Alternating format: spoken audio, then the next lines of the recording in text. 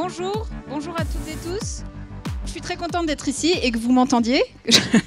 Euh, donc c'est Rencontre internationale de la classe dehors qui se passe à, Poitiers, accueillie par la ville, avec l'académie aussi qui, euh, qui, est avec nous.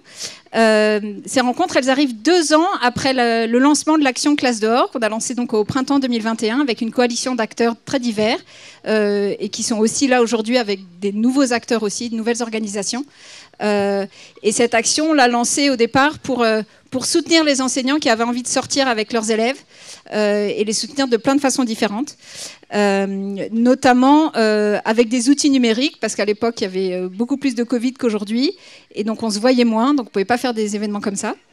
Euh, et donc ces rencontres, elles sont organisées par la Fabrique des communs pédagogiques, donc c'est l'association La Fabrique des communs pédagogiques, dont la mission est de soutenir la communauté éducative et les communautés éducatives grâce à un travail de documentation, un travail de partage, de ressources libres de droit et de valorisation des pratiques pédagogiques. Et ça, on le fait pour favoriser l'essaimage des initiatives, donc pour que ceux qui font déjà classe dehors, ils puissent aider à ce que d'autres puissent le faire aussi. Euh, et ça, on le fait aussi avec les territoires, avec les collectivités qui sont aussi euh, là pendant les rencontres. Euh, donc cette semaine, elle permet déjà de, se retrouver avec tous ces acteurs divers de l'éducation, de se rencontrer autour de ces questions-là, d'éducation dans et d'éducation par la nature, que ce soit à l'école ou à côté de l'école.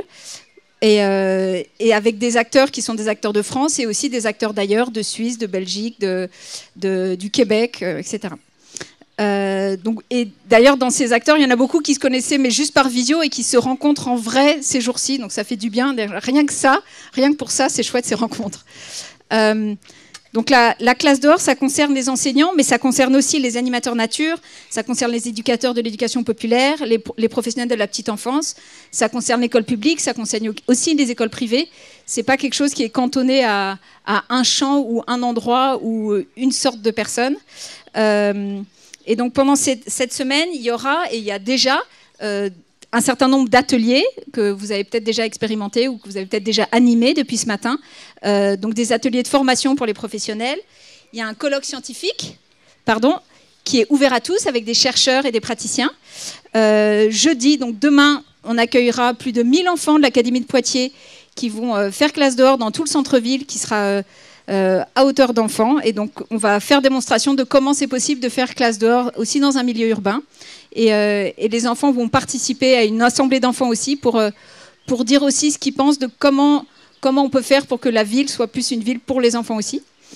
et vendredi, il y a un parcours qui est très important aussi, c'est le parcours Une seule santé qui a été construit une seule santé, pour ceux qui ne connaissent pas, c'est un mouvement scientifique international euh, qui vise à mieux intégrer la santé humaine avec la santé environnementale et la santé animale, parce que chacune a des effets sur les autres.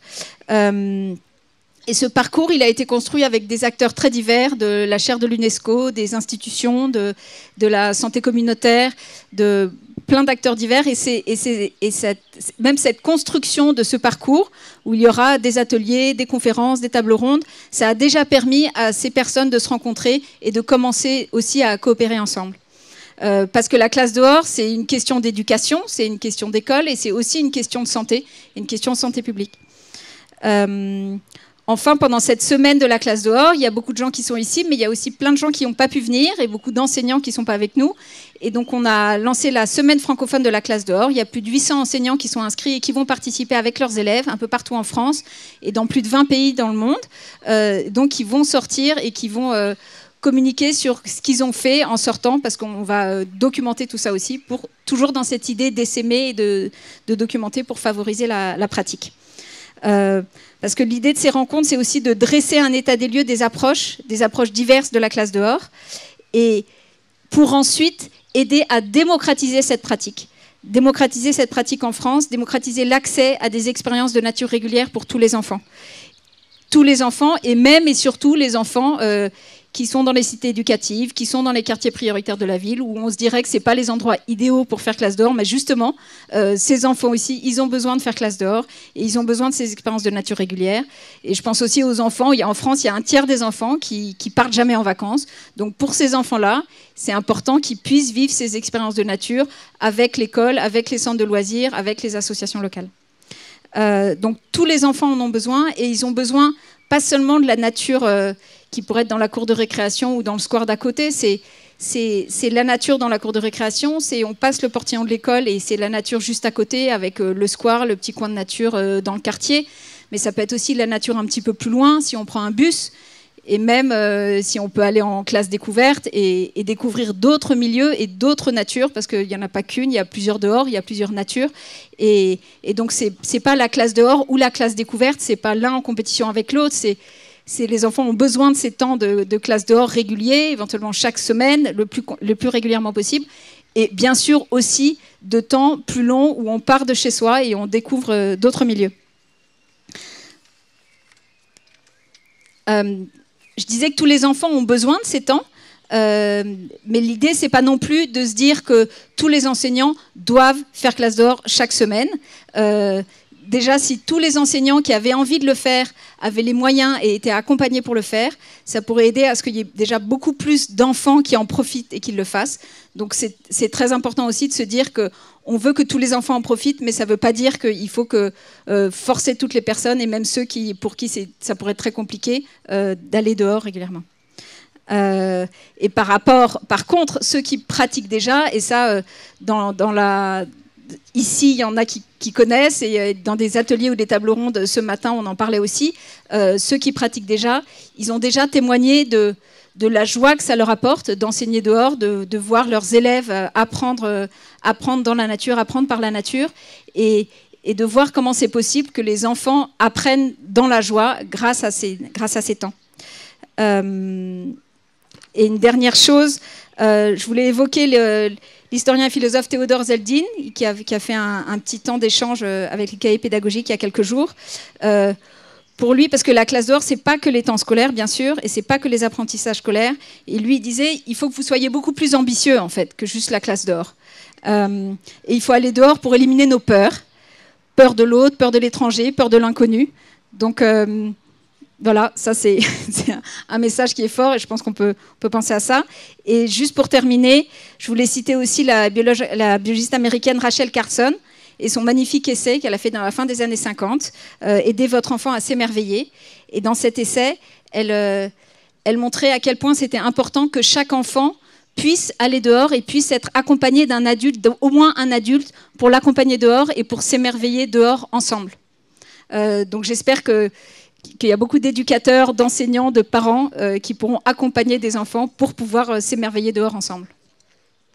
je voulais remercier la, euh, Madame la rectrice et Madame la maire d'être là et je vais passer la parole à Léonore Monconduit.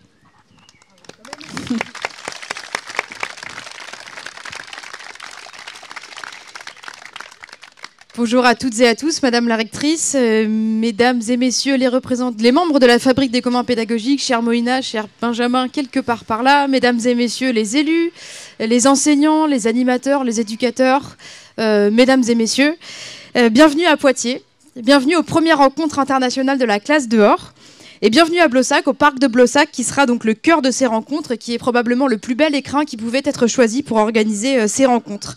Avec ses 9 hectares, avec ses multiples jardins, alors français, anglais, jardin de rocaille, son jardin d'ombre et de lumière.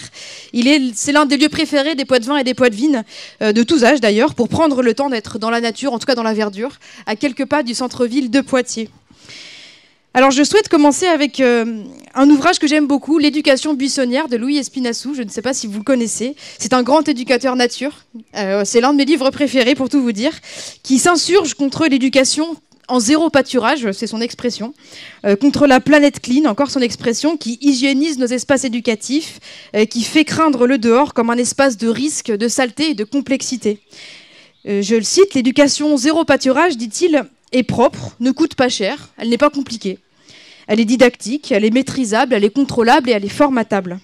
Pourquoi désormais se compliquer l'existence à emmener les enfants dehors, à la rencontre du monde avec toutes ses imperfections, avec ses risques, son inconfort et son coût, alors qu'aujourd'hui le monde arrive dedans, à l'intérieur, au tiède, sécurisé, bon marché, d'un simple clic ou de la simple venue d'un intervenant? Or, le monde réel, médiatisé par de l'artificiel, modélisé et conceptualisé, il perd son réel. Le spectacle du monde, la virtualisation même sophistiquée du monde, ne remplaceront jamais le rapport réel, au monde réel, la dureté et le superbe bonheur d'y vivre avec tout son être, son corps, sens, intelligence mêlée et engagée. Quel plaidoyer à l'heure où l'éducation high-tech compte son lot de débats, son lot d'incertitudes, l'opportunité est aujourd'hui créée de pouvoir euh, mettre en lumière toutes les richesses d'une éducation low-tech, une expérience du monde réel non médiatisée, une expérience que rien ne saurait remplacer. On parle de plus en plus du syndrome de manque de nature et de ses impacts sur la société en général, mais sur les enfants en particulier. La déconnexion à la nature entraînée par nos modes de vie nos modes de vie contemporains pardon, a des effets négatifs sur le bien-être physique, avec la sédentarité par exemple. Il a des effets négatifs sur le bien-être moral, sur le bien-être psychique, euh, et sur la méconnaissance des rythmes et des réalités de la nature. Alors à l'inverse, faire classe dehors ou passer des vacances au plein air, c'est autant de bénéfices pour la santé, pour le moral, pour la canalisation des énergies, pour l'ouverture d'esprit, et pour la sensibilité écologique aussi, parce que qui connaît mieux, protège mieux. On ne protège que ce que l'on aime, on aime souvent mieux ce que l'on connaît. On ne connaît bien que ce que l'on expérimente, en tout cas j'en suis convaincue. Et on expérimente en tant que jeune que ce à quoi notre cadre éducatif nous donne accès. Ainsi, c'est notre rôle de politique, d'éducateur et d'éducatrice que d'offrir aux enfants la chance d'avoir un accès sensible à ce dehors si plein de richesses. Je suis très fière et nous sommes très fiers, puisque nous sommes nombreux de l'équipe municipale ici aujourd'hui, d'accueillir ces premières rencontres à Poitiers. Euh, elles sont pleinement ancrées dans la réalité de nos ambitions politiques et éducatives. Poitiers, qu'on appelle parfois pompeusement, euh, enfin pompeusement mais avec fierté, capitale de l'éducation, qui est aussi aujourd'hui une capitale du jeu, avec une reconnaissance euh, nationale en matière d'édutainment, c'est-à-dire l'éducation par le jeu. Poitiers qui a organisé l'an dernier les premières rencontres nationales de l'éducation populaire. Poitiers récemment labellisé, et je remercie l'éducation nationale pour cela, cité éducative pour les quartiers prioritaires montre encore aujourd'hui avec l'éducation dehors qu'elle est un territoire d'innovation pédagogique de référence au niveau national. L'éducation, c'est la première de nos priorités, c'est le premier budget de la ville de Poitiers, l'éducation scolaire, mais aussi l'éducation périscolaire, extrascolaire et le temps des vacances. Et si nous souhaitons créer le cadre d'enseignement le plus propice et le plus confortable dans les écoles, nous souhaitons également qu'elles permettent davantage l'ouverture autour d'elles sur la ville et sur le monde. La réappropriation des espaces publics est au cœur de nos engagements politiques, parce que c'est un enjeu de cohésion sociale, de mixité et de vitalité citoyenne. Nous ne souhaitons plus des espaces cloisonnés, des espaces des citoyens isolés, mais bien au contraire un espace public vivant, ouvert à une multiplicité d'usages, où les habitants, les habitantes de tous âges se réapproprient leur ville, se réapproprient les espaces pour en faire des espaces collectifs, de jeux, de sport, de culture, d'apprentissage. Et à Poitiers, c'est en particulier les enfants qui y sont encouragés, pour que la ville, dans les espaces naturels comme les espaces urbains, soit accueillante pour eux, que la rue devant leur école soit apaisée, que la cour de l'école ou le parc à proximité soient des endroits d'éducation, de découverte, que le palais des ducs d'Aquitaine que vous découvrez peut-être, ou que la mairie soit des lieux d'enseignement d'histoire et de citoyenneté, que la ville dans son ensemble en réalité soit une grande salle de classe dans laquelle les enfants de Poitiers grandissent et apprennent. Et puis, tout naturellement, l'éducation nature fait partie des trois piliers de notre projet éducatif global. Pas un enfant sans une expérience éducative du dehors, c'est notre objectif. En concertation avec la communauté éducative, avec l'éducation nationale, avec les acteurs de l'éducation populaire aussi, qui depuis toujours se saisissent de ces enjeux, nous végétalisons nos cours d'école. Nous installons des poulaillers, des composts, des potagers dans toutes les écoles ou à proximité. Nous encourageons les pratiques d'éducation dehors et d'éducation nature dans tous les espaces éducatifs, par exemple avec le programme Classe de ville qui encourage les enseignants à aller à la découverte de la ville et de tous ses acteurs avec leurs élèves. Nous formons nos personnels, les animateurs, les AESH, en, en cohérence avec l'éducation nationale, à l'approche pédagogique de l'éducation nature et de la classe dehors. Nous relançons les classes transplantées avec l'objectif que d'ici trois ans, chaque enfant passe, parte au moins une fois en classe découverte pendant sa scolarité de primaire. Nous avons la chance d'avoir un centre maternel, de centre de Beauvoir, où dès 3 ans, les enfants peuvent vivre des séjours au contact de la nature, des petites bêtes et du plein air. Nous relançons un centre d'éducation nature municipal au Bois de Saint-Pierre, un centre immersif au cœur de la forêt des Bois de Saint-Pierre, qui dès cet été accueillera de nouveau des séjours campés. Nous encourageons avec notre politique Vacances pour tous les vacances au plein air et leurs expériences ensoleillées. Et enfin, pour tout cela, nous travaillons avec de nombreuses associations engagées comme nous pour la découverte de la nature dès le plus jeune âge, la LPO, les CPIE du territoire, promet. Et ça marche Ça marche, l'effet d'entraînement fonctionne très bien auprès des équipes enseignantes, auprès de qui nous intervenons en soutien de l'éducation nationale pour faciliter cette démarche, créer des ponts avec nos services, des espaces verts par exemple. L'enthousiasme est là du côté des enseignants, mais du côté des animateurs, des animatrices aussi, et les parents eux-mêmes en redemandent. Sur l'année qui vient de s'écouler, par exemple, on estime que ce sont 28 écoles qui pratiquent la classe dehors, ce sont 39 classes et 804 enfants qui ont pu profiter de classes transplantées, ce sont 15 écoles inscrites, 60 classes, 216, écoles, 216 séances planifiées dans le cadre du, du programme classe de ville, près de 120 classes accueillies au centre maternel de Beauvoir, 244 enfants en accueil de loisirs au bois de Saint-Pierre, bref, tout ça pour vous dire qu'on est fiers de ce qu'on fait, mais surtout pour vous dire que c'est possible, euh, c'est l'intention de ces rencontres et c'est de montrer, si besoin était, qu'à Poitiers, comme ailleurs dans l'académie, comme partout en France, c'est possible. Ça a des résultats extrêmement positifs et euh, l'effet d'entraînement, euh, est là. Les ambitions éducatives de la ville de Poitiers sont celles d'une éducation ouverte sur son environnement, ouverte sur le monde, une éducation source d'émancipation individuelle et collective, nourrie des valeurs de l'éducation populaire, Autant de valeurs et d'engagements dont nous savons qu'elles nous sont communes avec euh, les organisateurs et les organisatrices de ces premières rencontres internationales de la classe dehors. Pour terminer, je tiens à remercier la Fabrique des communs pédagogiques, euh, Benjamin Gentil, toutes les équipes qui l'entourent, d'avoir choisi Poitiers dès le début comme lieu d'installation de cette première édition. Bravo à tous les partenaires, bravo à tous les bénévoles qui ont rejoint la dynamique. Je salue également Hélène Pommier, qui est par là, qui est notre adjointe à l'éducation et aux écoles publiques, euh, qui a su écouter cette proposition un peu folle il y a plus d'un an. Euh, et qui a accepté d'accompagner, d'encourager ce qui s'appelait encore les rencontres de l'école dehors et d'en avoir défendu auprès de notre équipe l'importance. Et enfin, je remercie chaleureusement les services de la ville de Poitiers. Euh, ils sont nombreux, le service protocole, le service communication, le service éducation, bien sûr, la mission événement, qui sont très nombreux à cette mise en ordre de marche avec beaucoup d'énergie pour faciliter l'organisation de cet événement, pour en assurer le bon déroulement en sécurité pour toutes et tous. Et je clôturerai en citant une nouvelle fois Louis Espinassou. Dehors, ce dehors dans la nature, si plein, si riche, si nécessaire à l'épanouissement, l'éducation, l'expression et le bonheur. Menons-les dehors, nos enfants, qu'ils puissent vivre, vivre toutes les dimensions de leur corps, excusez-moi, vivre toutes les dimensions de leur corps, de leur sens, de leur esprit, courir, jouer, rire, construire, apprendre, connaître, exploser et grandir. Merci à vous.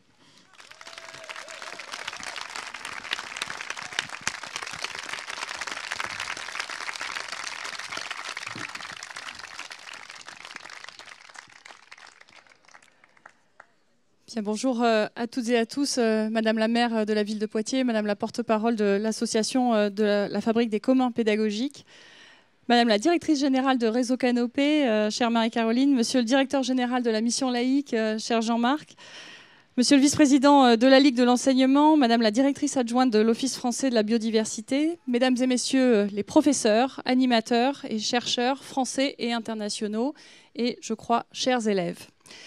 Je suis évidemment très heureuse que l'Académie euh, de Poitiers, euh, vous avez dit que la ville de Poitiers avait été approchée euh, par ricochet, l'Académie de Poitiers a été approchée aussi, mais je crois que ce n'est pas seulement par ricochet, c'est parce que aussi nous avons une longue tradition de classe dehors dans l'Académie. Tradition qui a été euh, théorisée, accompagnée par euh, la conseillère pédagogique euh, Christelle Ferjou, par un autre conseiller pédagogique Jean-Christophe Ortolan et par de nombreux acteurs pédagogues auprès d'eux. Alors, je ne veux pas être trop longue parce que je suis à l'ombre et vous êtes au soleil, et que j'étais au soleil il n'y a pas très longtemps. et donc, je sais. Mais je voulais insister sur trois choses extrêmement importantes qui font que nous soutenons la classe dehors. La le premier élément, euh, vous l'avez dit en des, mots euh, qui sont bien meilleurs que les miens, c'est euh, pour reconstruire, pour construire ce rapport à la nature. Et donc cet engagement écologique qu'il faut, cette conscience écologique qu'il faut que nous développions chez chacun de, nos élèves. Je ne reviens pas dessus, mais c'est évidemment la raison pour laquelle la classe dehors est née. Euh, la deuxième raison, là c'est plus euh, ma casquette éducation nationale. Euh, évidemment, il ne s'agit pas. nous avons une responsabilité vis-à-vis de nos élèves, vis-à-vis des familles. Cette responsabilité, c'est que nos élèves, à la fin de l'école, ils puissent savoir lire, écrire, compter, respecter autrui. Si nous ne faisions pas cela, eh bien, vous seriez en capacité de nous le reprocher, nos concitoyens seraient en capacité de, nous le reprocher. Et donc la classe dehors, c'est pas seulement, euh, c'est justement pas pour fuir euh, cette question des apprentissages fondamentaux, c'est aussi, et je voudrais le dire, pour avoir un impact sur la question de la maîtrise des savoirs fondamentaux. C'est important. Euh, j'ai eu l'occasion de me déplacer plusieurs fois dans des classes dehors. Alors je pense qu'il n'y aurait pas eu la crise sanitaire, je n'aurais pas fait ces, déplacements-là. Et à chaque fois, j'étais vraiment très heureuse de voir des petits de maternelle qu'on disait petits parleurs et qui n'avaient aucune difficulté à s'exprimer dans ce contexte de classe dehors. des petits d'élémentaire qui étaient un peu déjà fâchés avec les mathématiques et qui avaient grand plaisir à dénombrer toute une série de choses, des insectes, des bâtons, des feuilles. Euh, et donc tout cela est effectivement très important pour euh, continuer euh, la maîtrise de ces savoirs fondamentaux.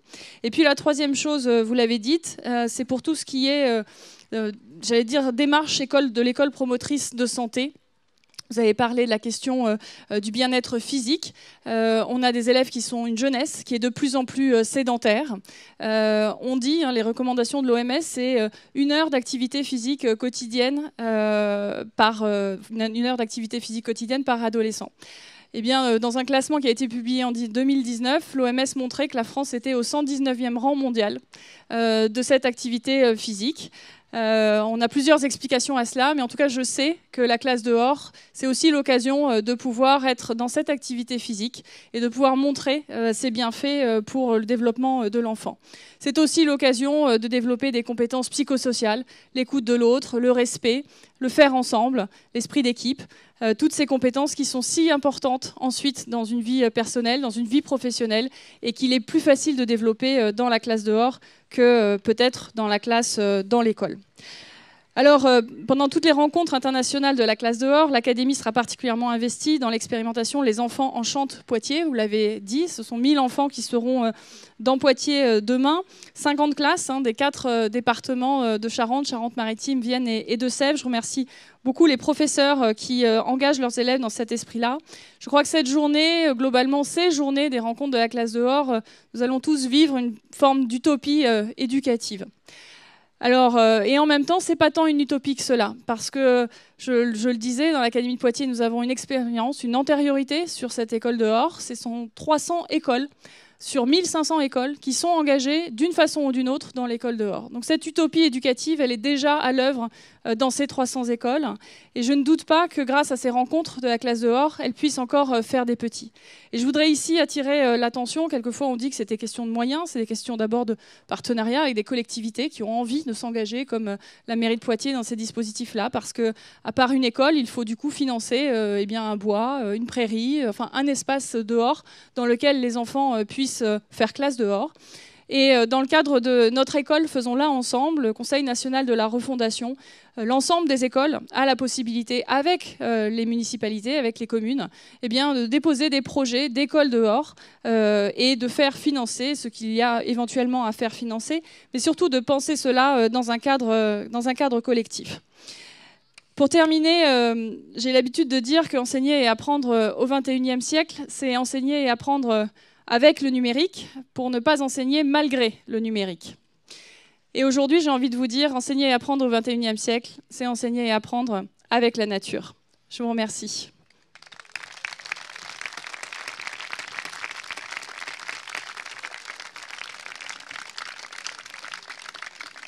Euh, merci beaucoup, Madame la rectrice. Merci, Madame la maire. Et je voulais remercier aussi toutes les personnes qui participent à ces rencontres, qui sont venues qui animent des ateliers, qui participent au colloque, les bénévoles, euh, toutes les personnes des associations, des organisations de la ville, du rectorat. Enfin, ce que c'est c'est des rencontres qui sont vraiment des rencontres contributives. Euh, donc, euh, merci à tous et toutes d'être là et de participer.